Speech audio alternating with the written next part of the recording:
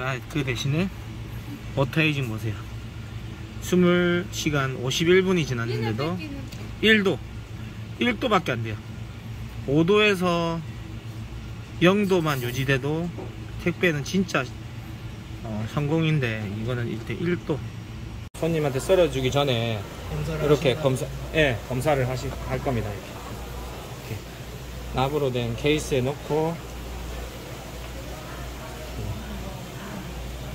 일반적으로 지금 공기 중에 있는 수치에서 되고 이거는 배는 문제가 없어요. 안녕하세요. 수아빠입니다. 전어가 엄청 좋습니다. 와 오늘 맛있는 전어네요. 전어가 많이 들어왔어요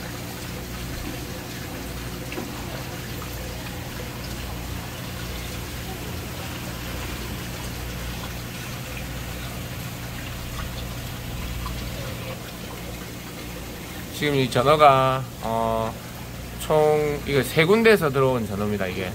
음, 어떤 거는 입이 보시면 입이랑 입 쪽이 좀 빨갛고 어떤 거는 전혀 전혀 빨갛지가 않습니다 이렇게. 어떤 건 빨갛고 어떤 건 안 빨개요. 맞죠? 이게 왜 그러냐면 이게 어 염도 조절을 차에서 싣고 올 때나 이럴 때 염도 조절을 조금 잘못한 거예요. 어, 어떤 분은 바닷물을 좀 많이 타면 이렇게 어, 주둥이가 빨개지고 이렇게 주둥이가 빨개집니다. 어떤 거는 염도 조절을 잘해서 그리고 요 근처에서 가져오니까 빨가지지 않습니다. 이게 지금 헤엄치면서 이게 벽에 부딪히고 이래서 멍이 들어서 빨개졌다고 하는 사람들이 있는데 그거는 이제 잘못된 말이에요. 이게 왜냐면 얘들은 어, 민물과 바닷물이 만나는 곳에서 서식하는 어, 숭어와 뭐 숭어나 전어나 뭐 이런 연어, 연어 같이 이렇게 기수해역고기라고 해갖고 어, 뭐 책에 찾아보니까 삼투압으로 염도 조절을 할 수 있는 피부로 염도 조절을 할 수 있는 생선들입니다. 그래서 이렇게 민물을 이렇게 우리가 이 물에다가 바닷물하고 민물을 이제 어, 비율로 맞춰서 타고 있는데 어, 저희는 1.3, 4%로 맞추는데 딴뭐 다른 곳은 이제 뭐 5대 5도 맞추는 데도 있고 뭐 다양하게 맞추는데 바닷물에다가 만약에 이걸 그냥 살려 놓으면 한 바로 이렇게 삼, 이게 생선이 삼투압이 일어나지는 않거든요. 한, 한 3시간, 2시간 후면 등이 이렇게 노랬던 등이 파랗게 변하면서 입이랑 눈이 충혈이 되듯이 혈관이 터지면서 이렇게 빨개집니다.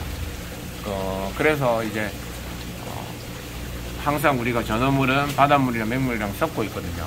근데 어, 그걸 이제 소비자분들은 어, 민물이랑 섞는 거를 어, 무게를 늘려가 늘리기 위해서 하는다. 뭐 이런 뭐 잘못된 이렇게 소문도 있어요. 근데 그런 건 절대 아닙니다. 셔너가 자기가 살던 기수 해역이라고 하죠 기수 해역 그 염도를 맞추기 위해서 맞춰 놓으면 더 싱싱하고 애들이 맛이 있거든요.